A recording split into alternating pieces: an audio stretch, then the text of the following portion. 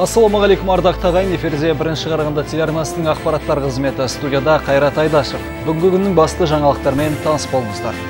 Қарағанды қаласы бойынша ең үздік деп саналатын 101 лицейдің 9 жалғыз қазақ сыныбы ата аналарының жабылғалы жатыр. 28 оқушыны өзге мектептерге таратып жіберу кімге тиімді? Қаламыздағы білім беру мекемелерінде бірқатар заң бұзушылықтар анықталды. Жеті балабақшаның қоймасынан жарамсыз азық түліктер мен дәрі дәрмек өнімдері тәркіленді. Қарағанды қалалық маслихатында қала ішілік жолаушыларды тасымалдау қоғамдық көліктерінің жай күйі тағы да сынға алынды. Қарағанды қаласы бойынша ең үздік деп саналатын 101 лицейдің 9 жалғыз қазақ сыныбы ата-аналарының келісімінсіз жабылғалы жатыр. Шағым түсірушілердің айтуынша 28 оқушыны өзге мектептерге таратып жіберу жайлы шешімді білім бөлімі жетекшісі мен оқу орны басшысы бірігіп қабылдап қойған. Ашынған тараптың уәжін тыңдап қайтқан Айман Сағатай тақырыпты ашуға бұлай тырысты. Оқу жылы аяқталмай жатып шу шығарған 101-ші лицейдің 9-шы сынып оқушылары бүгін тағы бас қосты. Олар білімдерін енді қай оқу ордасында жалғастыратын білмей сенделіп жүр. Балалардың оқу үлгерімі нашар деген сылтаумен мектеп басшылары 28 оқушыны қаланың әр мектебіне таратып жіберген. Бірақ келіскен мектеп директорының өзі оқу жылын үштікпен аяқтаған балаларды қабылдамаймын деп ашық айтқан. сұрайын директор айтады менің үшке оқитын баланың қажеті қанша менің өзімде де толып жатыр дейді. Маған дейді 12 баланы беске оқиды хорошо істегеннен кейін мен келіскенмін дейді. Таңғы сағат тоғыздан жаңа оқу ордасының табалдырығын аттаймыз деп тест тапсыруға келген 13 оқушы ұстаздардың мектеп маңына да жолатпағанын айтты. Сөздерінше директор құжатсыз сынақ өткізуге рұқсат бермепті. Бірақ екі мектептің арасында қуыршақ болдық деген оқушылардың қолында аттестат та түспеген көрінеді. Сендер қазір барасыңдар отыз тоғызыншы мектепке тест тапсырасыңдар. Бірақ мына жерге келген кезінде олар басқаша айтты. Үштері бар балалар тек қана аттестатта бір үш болса да біз сендерді кіргізбейміз деді. Ал жалғыз қазақ сыныптың көзін құртуға құлшынған білім бөліміндегілер балалардың қыркүйекке дейін далада қалмайды дегеннен таймайды. Өйткені сыныпты жабу туралы ресми бұйрық әлі бекітпепті. Қыркүйек айы болмай бесінші қыркүйек айы болмай біз ешқандай шешім қабылдамаймыз. Жоқ енді бірақ білім бөлімдегілер ресми құжат дайындалмастан 39 гимназияның директорына тестілеуді ертеңнен баста деген бұйрық беріп үлгерді. Енді былай істесейші енді былай істесейші мына жүктің бала келіп тұр он бір ма он үш баласы келіп тұр міне алдыма келіп тұр. Ақ көйлектерімен келіп тұр. Школьный формамен келіп тұр қана жүрміз сол балалардың бәрін де тестіге жіберсе сен тоқсан отыз тоғыз естіп тұрсың ба Ал оқушылардың ата-аналары құжаттар мен аттестаттарды қыркүйекке дейін алмаймыз деп отыр. Жабылғалы жатқан жалғыз қазақ сыныбының тағдырын уақыт еншісіне қалдырған олар тестілеуден де бас тартып отыр. Айма Сағатай, Жасұлан Мақұлбеков, Бақтияр Оспанов, бірінші Қарағанды телеарнасы. Қаламыздағы білім беру мекемелерінде бірқатар заң бұзушылықтар анықталды. Жеті балабақшаның қоймаларынан 247 жарамсыз азық түліктер мен дәрі-дәрмек өнімдері тәркіленді. Оның ішінде сүт, ұн және дәмдеуіш өнімдерімен қатар емдеуге арналған йод, жақпа майы және тағы басқа заттар болған. Бұл туралы бүгін облыстық прокуратура қызметкерлері мәлімдеді. Сақталу мерзімі 12 ай. Бір жыл бір жылдан астам сақталу мерзімі өтіледі сондай-ақ қарағанды қаласының октябрь аудандық прокуратурасы тексеріс жүргізген уақытта білім ордаларында 37 мектепке дейінгі мекемелерде 16 заң бұзушылық фактілері тіркелген. Атап өту керек жарамсыз заттар күнделікті қолданысқа ие болған. Қоса жаңағы 13 мектепте және жеті балабақшада қырыққа жуық дәрі дәрмектер қолдану және сақтау мерзімі өткеніне қарамастан жаңа қоймаларда сақталған және жаңағы осы дәрі дәрмектерді балаларды емдеу барысында қолданған бізге мәлім болды. Енді өз жұмыстарына салақтықпен қараған мекеме басшылығы жауапкершілікке тартылады дейді прокуратура қызметкерлері. Оларға тіпті бір жарым миллион шамасында айыппұл салып та үлгерген. Октябрь ауданында мобильдік топ жұмыс атқара бастады. Егерде бұндай жағдай тағы қайталанатын болса ата аналар бірден хабар бере алады. Ал әзірге құқық қорғау органдары санитарлық талапқа сай келмеген. Білім ошақтары мен балабақшалардың атын құпия ретінде сақтап отыр. Айжарқын сейсен жасұлан мақұлбеков бақтияр оспанов бірінші қарағанды телеарнасы Облысымыз бойынша әлеуметтік экономикалық өсудің соңғы 5 айдағы қорытындысы талқыланды. Арнайы онлайн режимінде өткен жиында барлық аудан басшылары облыс әкімнің бірінші орынбасарының алдында есеп берді. Аймақ экономикасының өсуі қаншалықта қарқын алуда және ол қанша пайызды құрайды? Бұл сауалдардың жауабын тілшіміз біліп қайтты. Соңғы 5 айдың есептік қорытындысы бойынша облысымызда жалпы өндіріс 12,2 пайызға өскен. Жыл басынан бері жалпы құны 512 миллиард теңгені құрайтын өнім өндірілген. Ерекше баса назар аударар жайт тау-кен өнеркәсібінде алға жылжушылық басым. Оның үлесіндегі сандық пайыз көрсеткіші 5,3-ке артқан. Энергетика бір жарым пайыз болса, резина және пластмасса фармацевтикалық өндірістің соңғы 5 айдағы көрсеткіші айтарлықтай жоғарылаған. Бүгінгі таңда ең басты назарда түсті металлургияның дамуы болып отыр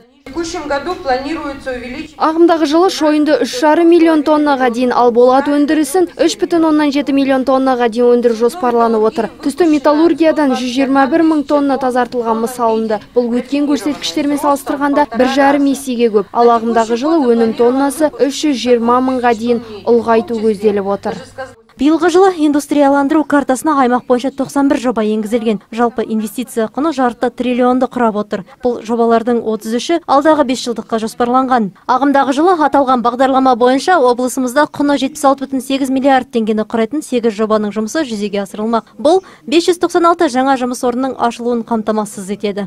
Жыл басынан бері сарапшы мамандар жеті отырыс өткізіп, жалпы құны 84 миллиард теңге болатын 13 аймақтық жобаны талқылады. Бұл мыңдаған адамдар жаңа жұмыс орындарымен қамтамасыз етіледі деген сөз. Осы жобалардың 11 индустриализация бағдарламасына енгізілді.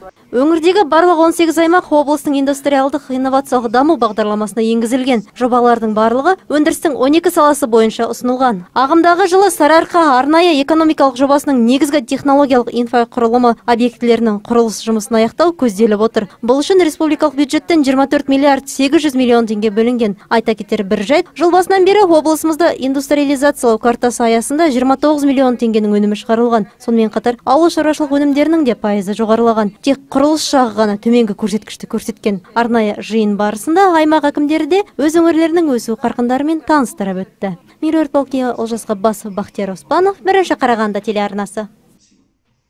Алда шағын жарнамалық үзіліс көгілдір экраннан алыстамаңыздар. Көрсетілім демеушісі галакси групп компаниясы алюгал галвин херкюль сауда белгілерімен. Галвин. А классындағы телеселік жүйесі. Ұзақ мерзімділігі 60 жыл. Галвин профилі. Аязға төзімді сенімді берік сапаны бағалайтындар үшін. Жаңалықтармен жалғастырамыз. Қалашілік жолаушыларды тасымалдау қоғамдық көліктерінің жай күйі тағы да сынға алынды. Қоғамдық сенім комитеті мен қалалық мәслихаттың тұрақты комиссия отырысында аталмыш мәселе талқыға түсті. Тіпті жолаушыларға қызмет көрсетуші персоналдардың да киімдері назардан тыс қалмады. Оларды жақтағандар да, даттағандар да болды. Көлік мәселесіне қатысты туындаған сауалдардың жауабын тілшіміз біліп қайтты. Қоғамдық көліктерде туындайтын негізгі мәселені талқылауға прокуратура, полиция өкілдері сонымен қатар қаламыздағы автобус парктерінің басшылығы да қатысты. Күн тәртібінен түспей келе жатқан бұл мәселе үнемі халық қалаулыларының назарында болып отыр. Олардың алдында тұрған басты міндет әлеуметтік категориялармен қорғалған азаматтар үшін тарифтің көтерілуіне байланысты жағымсыз нәтижелерді жою. Бүгінде қаламызда 9 кәсіпорын қалалық жолаушылар тасымалымен айналысады. Онда 2216 адам жұмыс істейді. Жолақы құны жоғарылаған соң бюджеттің де бүйірі шыққан ряд э, рекомендаций выполняются. Кәсіпорындардың материалдық техникалық базалары жаңартылуда және бірнеше ұсыныстар да орындалуда. Номер 3 автобус паркі мүмкіндігі шектеулі жандар үшін талаптарға сай келетін көліктерді сатып ала бастады. Сонымен қатар автобустарда арнайы датчиктер орнатылуда. 2013 жылы жол жүру ақысының билет құны көтерілген соң қалалық жолаушы тасымалдаушы кәсіпорындармен меморандумға қол қойылған болатын. Арада екі жылға жуық уақыт өтсе де әзірге шартта айтылған бөлімдер толығымен орындалған жоқ. Дегенмен де кәсіпорындардың материалдық техникалық базасы айтарлықтай жақсарған. Тіркегіштер орнатылған gps диспетчері жұмыс жасап тұр алайда қоғамдық көліктерде қызмет етуші персоналдардың формалары осы күнге дейін сөз жүзінде қалып отыр. Тіпті кейбір жүргізушілер мен кондукторлардың киімдері кір ал дөрекі сөйлеу мен дөрекі түрде қызмет көрсету деңгейі сол қалпы еш өзгеріссіз қалып отыр дейді комиссия мүшелері. По 15 из 28 маршрутов не соблюдается 38 бағытта 15-нің жұмыс уақытының аяқталу кестесі жоқ. Яғни кешкі сағат 8-ден кейін оларда аялдамаларда тосып тұрған халықта есеп болмайды. Бұл әсіресе қала маңына қатынайтын көліктерге байланысты болып тұр. Маусым айының басында қоғамдық көліктерге тексеріс жүргізілген болатын. Бұл тексерісті құқық қорғау органдарының өкілдері прокуратура қызметкерлерімен бірлесе отырып өткізген еді. Бір таңғаларлығы заң бұзушылық барлық тексерілген қоғамдық көліктерде анықталды. За 5 месяцев и 10 дней. соңғы 5 ай 10 күннің ішінде қалалық қоғамдық көліктердің қатысымен 14 апатты жол көлік оқиғасы орын алды. Нәтижесінде екі адам қайтыс болып 15 адам әртүрлі дәрежедегі жарақат алды. Бұл көрсеткіш былтырғы жылмен салыстырғанда жоғарылаған. Жылдамдықты арттыру әрбір қоғамдық көліктегі жол жүру ережесінің бұзылуының басты кілті болып табылады. Он үш маршрутта қоршаған ортаны ластау деңгейі қалыптан жоғары зиянды заттардың шығарылғаны белгілі болды. Тіпті жолаушылар тасымалында көлікті ақаулы күйде жүргізгендер де болған. Мысалы нөмір екінші автопаркке қарайтын нөмір қырық алтыншы бағыттағы автобус жүргізушісі рейске көліктің қол тежегішінің ақауын біле тұра шыққан. Ал нөмір жиырма тоғызыншы маршрут жүргізушісі көлікті есірткі пайдаланған күйде жүргізген. Тағы бір айта кетер жайт мамандардың жетіспеушілігіне байланысты бюджет есебінде 32 адам жүргізушілікті оқса оның тек оны ғана жұмысқа орналасқан меруерт балкеева олжас ғаббасов бақтияр оспанов бірінші қарағанды телеарнасы Қызыл жартай қоғам әлеуметтік аз қамтылған жандар мен су зардап шеккен қала тұрғындарына 20 мың теңгеге сертификаттар табыстады. Қыруар қаражат болмаса да халық оны керек жарақтарына жұмсаймыз деп ризашылықтарын білдіріп отыр. Аталған қайырымдылық шара алғаш рет болып отырған көрінеді. Алғашқы көмек Ботағыра елді мекенінің тұрғындарына берілді.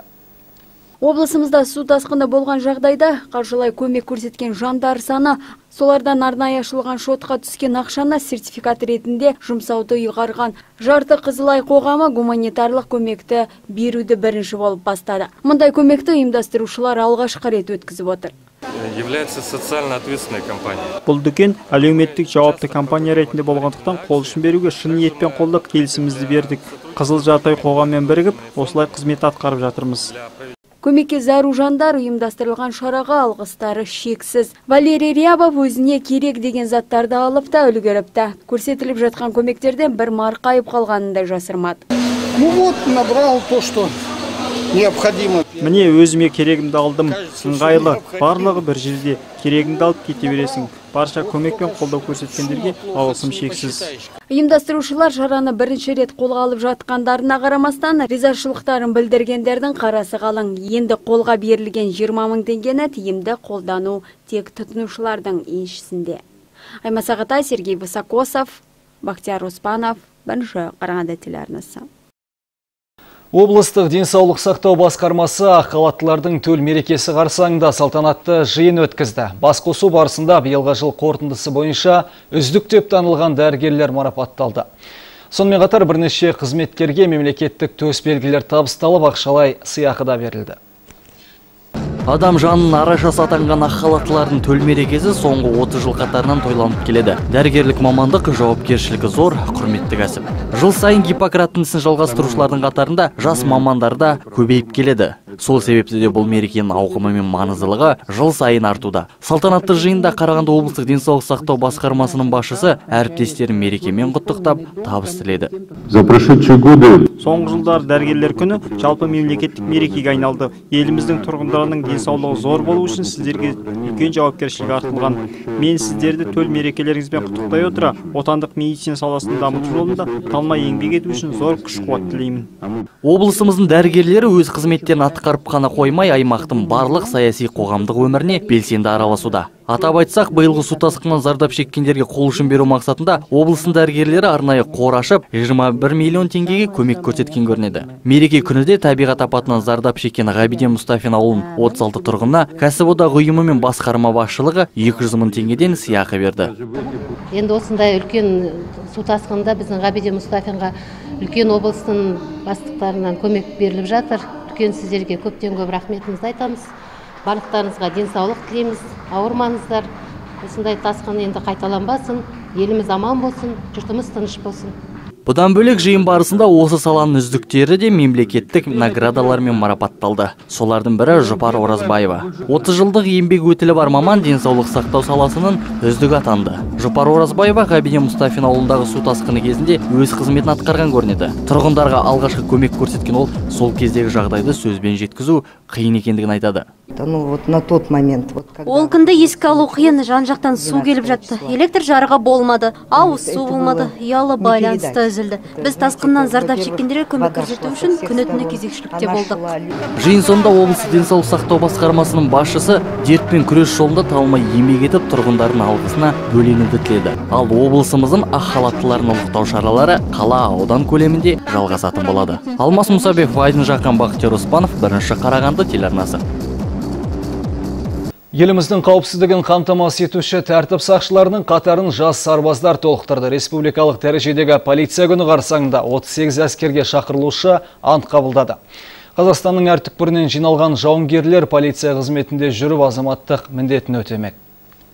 Полиция қатарына қабылданған жас сарбаздар ант қабылдау рәсімін салтанатты түрде өткізді. 38 жас жауынгердің 18-і жол полициясы болатын болса басқалары қылмыстық істер тергеуші учаскелік инспектор сияқты әртүрлі қызметтер атқарады. Отан алдындағы азаматтық борышын өтеуге келген бақтияр дәмиев те ант қабылдап әскери міндетін абыроймен атқаруды жоспарлауда.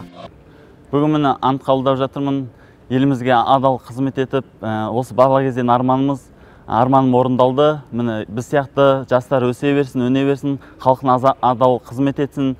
Өте қуаныштымын бүгінге қарағанды қалалық полиция басқармасының басшысы нұрсұлтан мұқашевтың айтуынша халықтың қауіпсіздігін бақылауда тәртіп сақшылары заманауи жаңа әдіс тәсілдерді қолдануы тиіс. Осындай қиын да келелі істерге жас сарбаздардың күш қуатын тиімді пайдалану қажет. Бүгінгі салтанатты рәсімде болашақ игі істердің басы болмақ. Вот уже 23 года 23 июня мы отмечаем День казахстанской полиции. Этот праздник символизирует уважение к лучшим традициям, накопленным за всю историю правоохранительных органов. Нам доверено оберегать жизнь и покой людей, интересы государства. жас жауынгерлер ант қабылдаған соң әскери борышын жоғары деңгейде атқаратынына сенімді қалалық полиция басқармасының басшылары да жас полицейлерге ақ жол тіледі жаңабек нарық бақтияр оспанов бірінші қарағанды телеарнасы Ардақты бүгінге айтар өзекті мәселелер осындай болды. Егерде қандай да бір қызықты да маңызды ақпараттарыңыз болатын болса 4206-49 телефон нөміріне қоңырау шалды ұмытпаңыздар. Мен өздеріңізбен қоштасамын. Амандықта жүздескенше.